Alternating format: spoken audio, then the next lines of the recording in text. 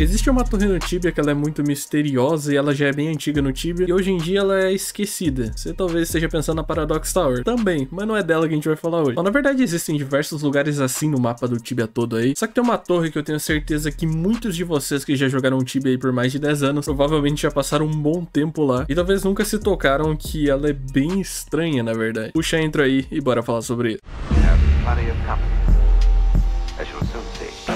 Fala rapaziada, chega desse conteúdo e E antes de começar a história toda, você já sabe muito bem o que, que, você tem que fazer. Já vai fazer um Nescau usando um Gatorade ao invés do leite em cima desse like aí. Pra dar aquela fortalecida na firma, se inscrever no canal também, daquele jeitão de sempre. E simbora pro vídeo. Bom, o papo é que no Tibia existem diversas torres. E algumas também são bem estranhas, mas tem uma em específico que ela se chama Triangle Tower. No português, Torre do Triângulo. E talvez você não conheça ela por nome, mas é essa torre aqui. Dando look na placa, tá aqui ó, Triangle Tower. E não só era um lugar que a galera passava muito tempo caçando aqui antigamente, mas ela fica numa posição bem estranha também. Se vocês olharem no mapa, se liga, ela fica bem no meio aqui dos riozinhos, faz divisa inclusive com o deserto, e a gente já vai falar sobre ele, porque tem a ver com a torre aqui também. Mas se liga, ela fica mais ou menos ali um pouco pro sul do centro do continente do Tibia principal aqui. E para variar, como qualquer lugar do Tibia que tem alguma treta, tem Bonelord, né? Ou as teorias da linguagem 469 aparecendo aí de novo. Vocês estão vendo que não tem porta aqui. Bom, se você começou a jogar Tibia há pouco tempo, você talvez não saiba como que abre essa torre, ou muito menos conhece ela, né? Pra começar a história. Muitos anos atrás descobriram que para abrir essa torre é aqui mesmo, mas não aqui, do outro lado do rio. Tá vendo aquele amontoado de pedra ali? Bom, deixa eu dar a volta primeiro e a gente já vai falar sobre isso.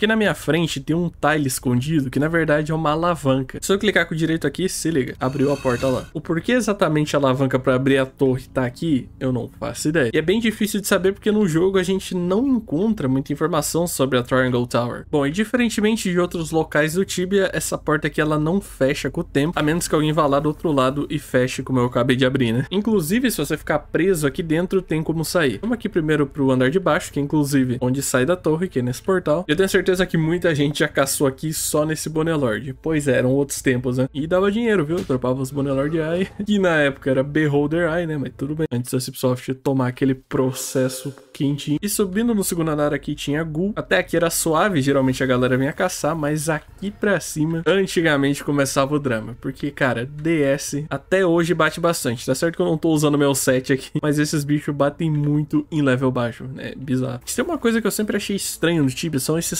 tiles aqui que eu tô andando em cima. Esses strange carving. Sei lá, parece que eles apontam alguma direção ou tem alguma coisa a ver. Podem ver que tem umas bolinhas azul aqui, tem uns que tem quatro, outros tem duas. Eu acho que ninguém nunca parou pra observar isso, inclusive aqui dentro dessa torre. Mas enfim, vamos continuar subindo. Nesse andar já ficava Punk, que tinha dois Stalker e era pouca gente que matava Stalker lá por 2007, por exemplo. A maioria era level baixo. E como vocês podem ver, tem aqui quatro Strange Carving de novo, mano. Será que isso aqui talvez indicava que tinha alguma relação com a quest lá dos 10k. E se vocês olharem no mapa, tá bem pertinho aqui do deserto. Inclusive, tem quatro certinho, mano. Será que eram as quatro vocações? E vocês com certeza viram que tem uma porta de quest e um baú aqui. Esse baú faz parte da quest What a Foolish Quest, que é a quest pra ganhar o outfit lá do Jester. Você tem que vir aqui na quinta missão e abrir esse baú. E o que que vem nele? Bom, vem um Magical Watch, um relógio mágico. Olha que interessante. Aí outra parada que levanta suspeitas sobre essa torre. Bom, e subindo aqui pro último andar, a gente tem um Dwarf Geomancer. E aqui sim, você tinha que vir aí level 50 e dependendo você ia passar sufoco também. E abrindo esse baú, a gente faz uma quest, onde a recompensa é esse Garlic Necklace, essas duas Small Sapphire e um Dwarven Ring. Vocês perceberam como é meio desconexa essa torre aqui? As coisas nada a ver uma com a outra, os andares não tem nada a ver um com o outro. Ela é toda esquisita, mano. Aqui embaixo também tem, tipo, seis caixões aqui, pra que que serve isso? Mas é sério, isso é uma coisa aqui que realmente me deixa intrigado, são esses quatro tiles aqui. Principalmente que se vocês separarem as bolinhas azuis ali, esse aqui aqui tem duas, esse aqui não dá pra saber se tem aqui embaixo. Talvez tá tampado pela parede. A gente só consegue ver uma, mas talvez tenha mais bolinhas. E aqui tem duas. Bom, se fosse hoje em dia, eu acreditaria facilmente que é decoração, mas, cara, isso daqui aqui é muito antigo. E era a época que a CIP enchia de mistério no jogo. Ou, se não quiser falar mistério, de coisas mais intrigantes, pelo menos. Bom, só pra mostrar pra vocês, esse teleporte a gente entra e joga a gente lá fora. Só um sistema anti-trap que a CIP botou pra ninguém ficar preso dentro da torre, né? Cara, se liga que bizarro uma parada que eu descobri. Eu não sei se é coincidência, mas isso aqui vai construir um prédio na cabeça de vocês, eu tenho certeza. Olha só. Eu tava pensando sobre a Triangle Tower e por que, que ela tem esse nome, Torre do Triângulo. Nada a ver. Eu fui pra algo que é geralmente mais óbvio, né? O Bonelord. A CIP ama botar referência ao Bonelord ou envolver alguma coisa com o Bonelord. Eu fiquei pensando, cara, onde é que tem outros Bonelord espalhados pelo mapa que seja aqui em volta da Triangle Tower? Lá em Khazur-dûm, quando você tá acessando, atravessando a montanha, tem um respawn que inclusive eu caçava lá quando era level baixo, muitos anos atrás, e tem um Bonelord sozinho. Simplesmente isso, só tem um Bonelord perdido lá, igualzinho da Triangle Tower. E lá no norte de Amazon Camp, lá pra direita, tem muita gente que não vai lembrar, mas tem um lugar isolado, que é uma caverninha bem pequenininha. Quando você desce a escada, adivinha só, tem um Bonelord e um Slime. Você pega esses três lugares, a Triangle Tower, o Bonelord de Khazur-dûm e o Bonelord de Venor, se você marcar no mapa, você consegue fazer um triângulo. É a parada mais bizarra, mas aí vocês concluem o que vocês quiserem, talvez seja só uma coincidência, é que dentro desse triângulo,